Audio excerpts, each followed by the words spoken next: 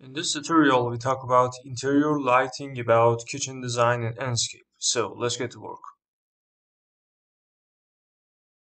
Keyboard so I can switch to my previous camera shot that I created before this tutorial. So I'm going to click on the kitchen number one in here and this is my main shot. So as you can see, some brightness, angle and position all of them set before this tutorial and I only check it out with the camera settings. So I'm going to click on the uh, visual setting in here and choose the uh, field of view. But before I do this job, I'm going to move the visual setting a little bit to the left side and reduce the field of view as I can to some type of decade number about maybe 50.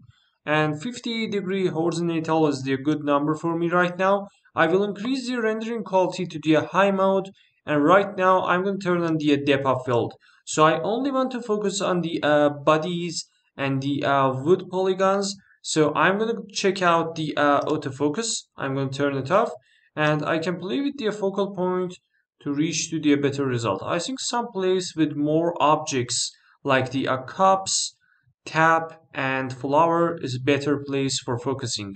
So 6.56 is the best number. So as you can see, when you focus on these lifts in here, and when I decrease or increase the depth of field, I can see the changes much better. So some number about 9% is acceptable for this render. But as you know that this render is a little bit too dark, how we can fix it out without any type of artificial light like the uh, spotlight and some other things. So I'm going to show you that. So I'm going to click on the uh, visual setting in here, turn off the auto exposure and re-expose my screen manually. It depends on some number about 57%. If you turn on the auto exposure, your relighting will be much better and improvable. 69% is good and I think it's done for me right now. I can click on the uh, image bar in here, turn on the uh, auto contrast. So in this place, we have some job with the uh, image correction. So if I increase the uh, saturation, as you can see, darkness will be increased and it depends on the uh, color temperature. So before you increase the saturation, play with the uh, color temperature and reach to the better color result you want. Some number about 7600 Kelvin is good, motion blur is 0, and saturation can be increased to the 104%. In the bloom and lens flare, I want to turn off both of them because right now I need some super clear render. About the vignette, I can increase it to some type of number about 44% and chromatic aberration is 0. Let's get to the atmosphere bar. In the atmosphere bar, you can control the fog option and all illuminations. I will turn off the fog option because I need some clear global illumination calculation. So some brightness, when I decrease it, as you can see, this will happen and it completely depends on you. But most of the time, you can set it on some brighter number higher than 100. But right now, I can decrease it a little bit to some type of number about maybe 26. It helps you to control your interior lights much better.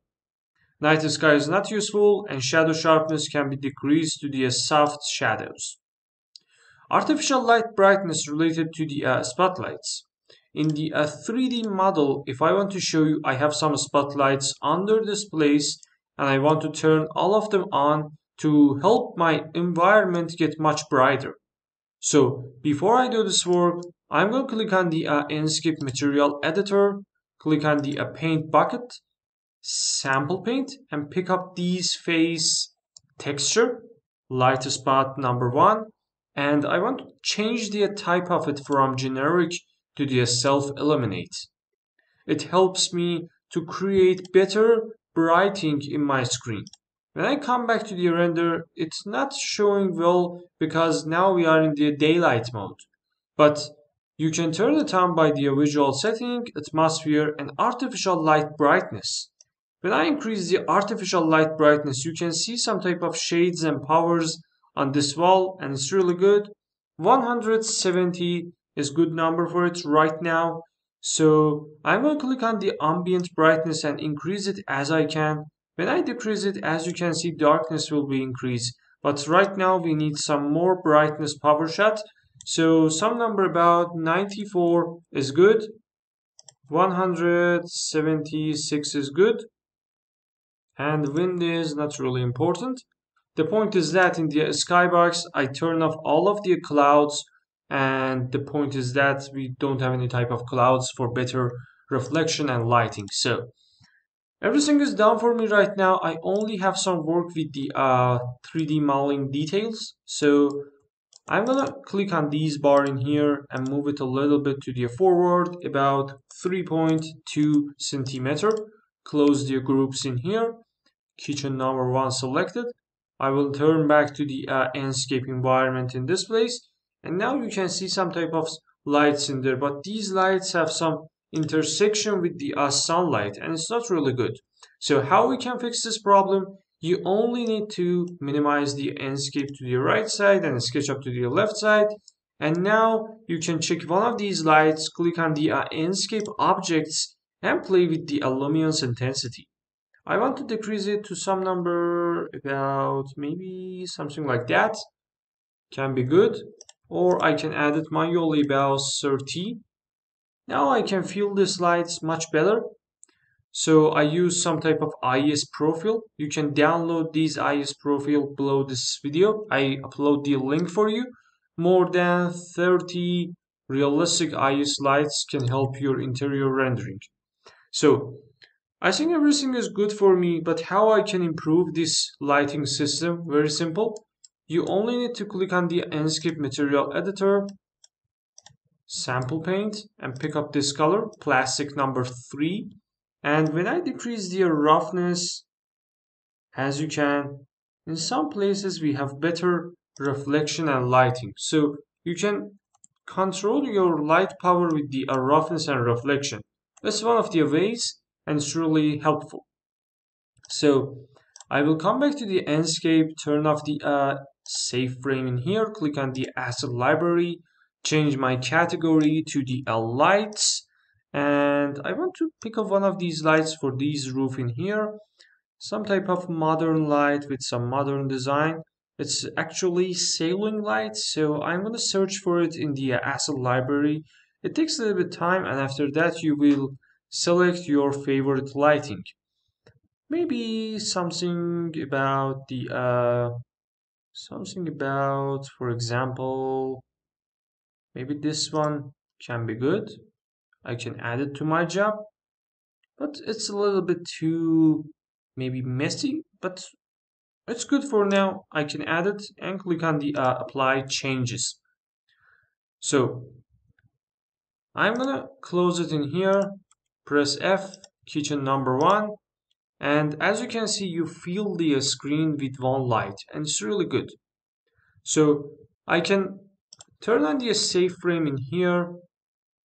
And if I want to add some more lights for these lights I can use spotlights and other things like that. At the final I'm going to turn back to the uh, visual setting and increase the uh, exposure. Some number about 84 is good and I will close it. I think everything is done for me and now time for the uh, rendering. In the kitchen design as you can see we have some highly detailed edges. You can click on the visual setting and add some outline to improve this problem. Some number about 6 is good and I think everything is done right now. But outside is not really realistic. What I can do for this job, I can move to the outside like this a little bit something like that and I want to click on the uh, asset library again. Pick up one of these vegetations. For example something like that. Here here here and here for example. And some another vegetation like this. Apply changes. View management and kitchen number one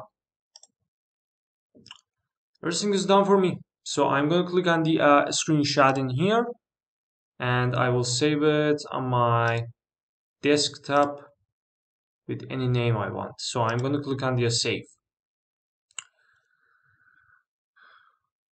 If this content is useful for you, you can subscribe our YouTube channel. It's really help us and your support is really valuable for us. Thanks for watching, thanks for your time and goodbye.